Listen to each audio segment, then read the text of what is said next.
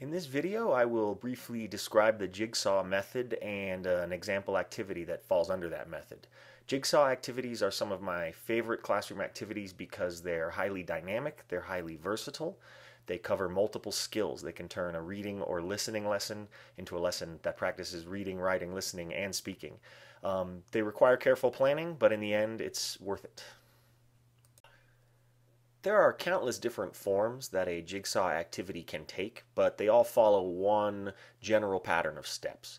The first step is to divide a text into three to five different sections. This can be done with different listenings, but it's usually done with a reading.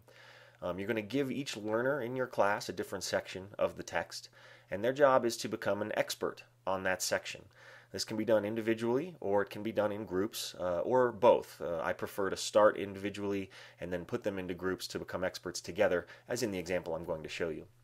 The most important step is that you create complete jigsaw puzzle groups. This is what makes an activity a jigsaw activity.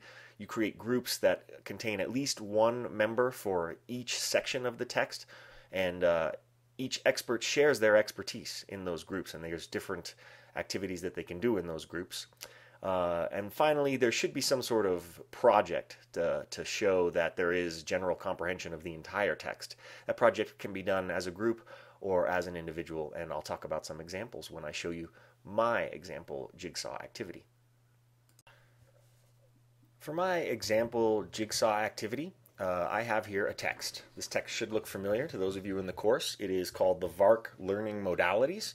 It has an introductory paragraph, and then it describes each of the four main learning modalities visual, aural, auditory, read write, and kinesthetic.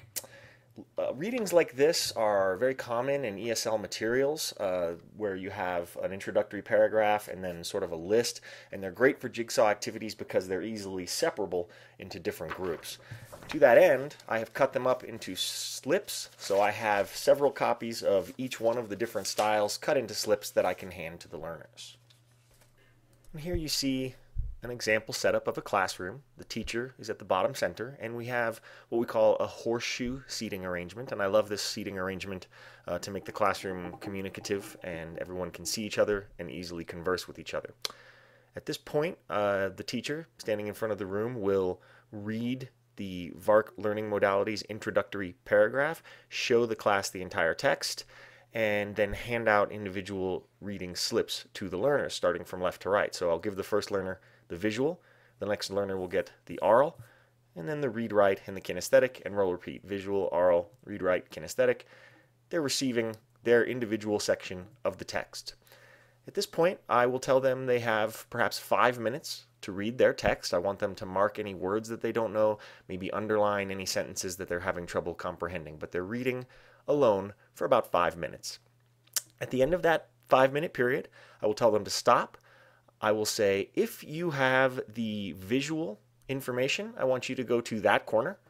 The learners will move there. I'll say, I want my auditory aural experts to move to this corner here.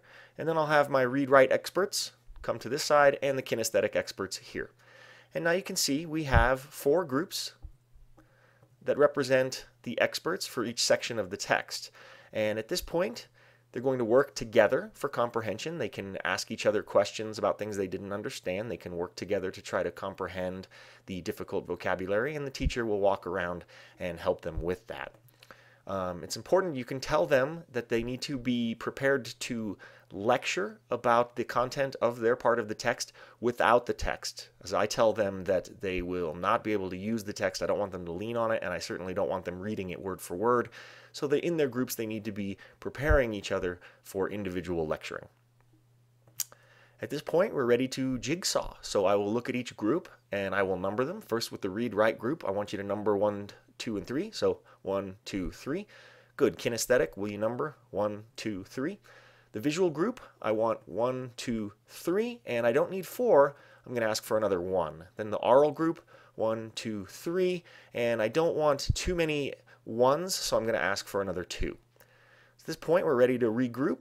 Um, can I have my number ones right here?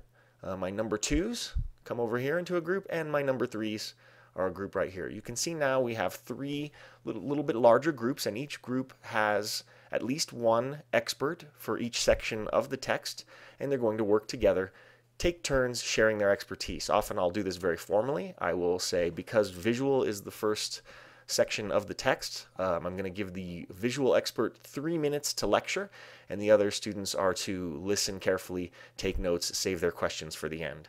And we'll take turns doing that, three minutes for each expert in the group to present their information. Um, as I mentioned, each jigsaw group should have, each jigsaw activity should have a project at the end and some possibilities for that. Answer random order questions. Now, normally when you create a question worksheet for a reading, you want those questions to appear in the exact order that the information appears in the text, but that's not the case for Jigsaw. You can give them a worksheet with random ordered questions, or you can cut your worksheet up into slips. And that way, they have to read the questions together and try to figure out which expert has the information to answer that question. We can also task them with writing a group summary. Something I've done is given each group a large piece of butcher paper, and I have them work together to create a summary of the entire text that we can hang up on the wall. That's a great thing to do.